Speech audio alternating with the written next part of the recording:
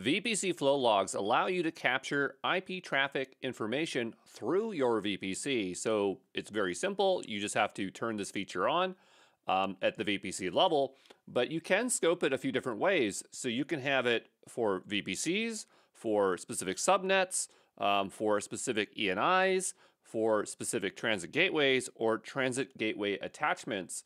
You can monitor traffic for things that are being accepted or things that are being rejected or all traffic.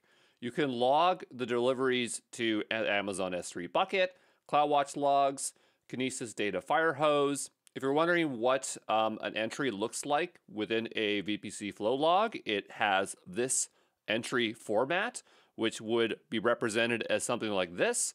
To make it even more clear, we will just break down each line item here. So the first thing is version. This is the flow log version. We have the account ID of the AWS account that is um, uh, writing the log. We have an interface ID for the network interface.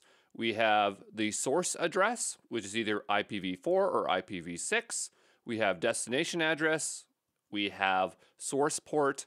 We have destination port. We have the protocol. We have um, packets, so the number of packets being transferred. We have the number of bytes being transferred the uh, start time in Unix seconds, the start or the end time in Unix seconds, the type of action. We have a few here. It's the accept, the reject.